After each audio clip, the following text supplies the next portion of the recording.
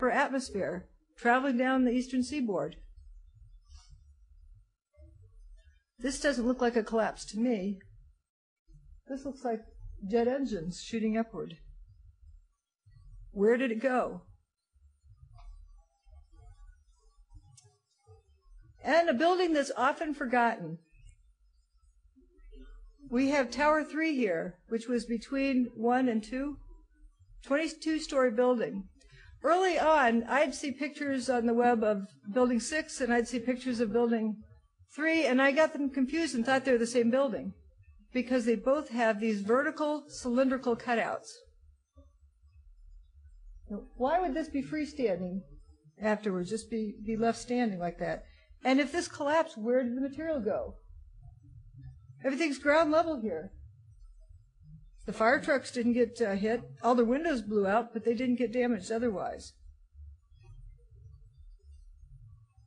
And here's a picture a couple of days later, about the same shot. There's nothing left of that 22 story building. Ground level. A few of these uh, Wheat Chex from Tower 1's western wall, and that's about it of the entire building 1. Look how uh, where people are standing. That's just one thickness of the beam, just laid out perfectly on the street, as though they danced over and laid down so they'd be easy to load. This is what was there the day before. A lot of building that just disappeared. Here's where the towers were, and here's where building three was. And we hear about the toasted cars. They were over here. There was paper between the two locations. Nothing burned. And of course, those uh, cutouts out of Building 6. And we have cutouts out of Building 5. And what happened the rest of Building 4?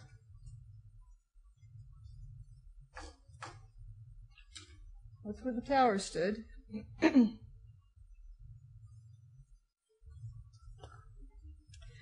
and this is an interesting map done by the USGS.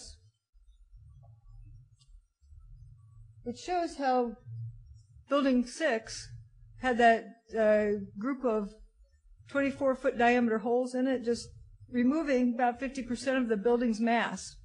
Wonder why they'd want to do that.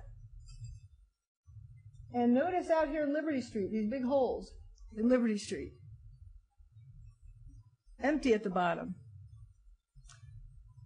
But what is the most bizarre is you're missing two 110 story buildings, and the rubble pile for them is almost non existent compared to buildings four, five, and six, the height of, of them. But this is building four. It used to cover a lot more area. Only the north wing of building four is left standing. The rest is just missing.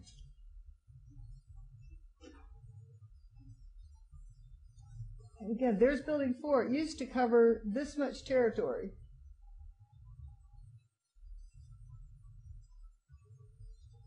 And uh, I think it's supposed to yeah, check out that hole in the street. It goes down maybe uh, 60 feet. What's it there for? If something fell in it, we should have the, whatever it was that fell in it sitting in it on top of the uh, hole or filling it up. And a closer view of Building 6. What could cause this? More importantly, where did this is the northern direction. This is Building 1 where it stood, Tower 1. That's the northern wall. It was 110 stories tall. Building 6 this rubble pile is not eight stories tall. It isn't even one story tall. But let's let's say it's eight or ten stories tall. Where are the other 100 stories? Where's the northern wall? This is building seven rubble pile. These holes are empty. It's missing in action. Where did it fall? And there's the postal building over here never got a scratch on it all day.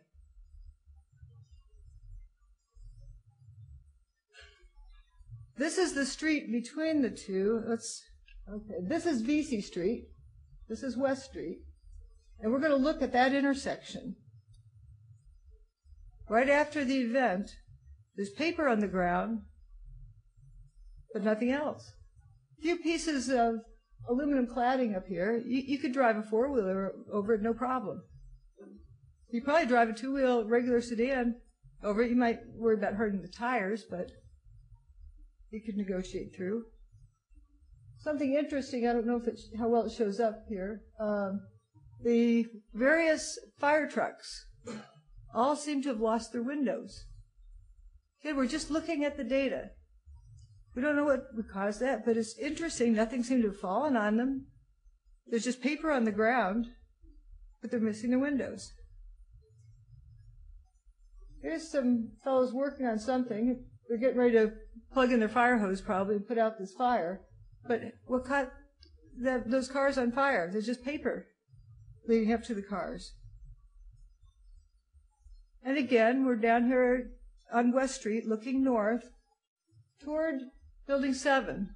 Looking at the shadows, it looks like it's just a little bit before noon on 9 11. There should be that tower between us.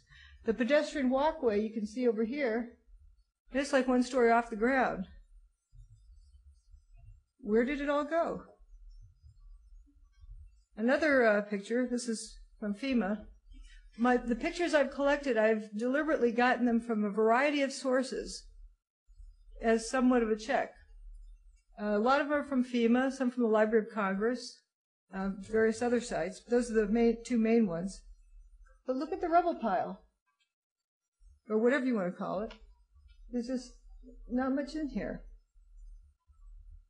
You don't park ambulances up on the 10th floor, that, so that tells you where ground level is.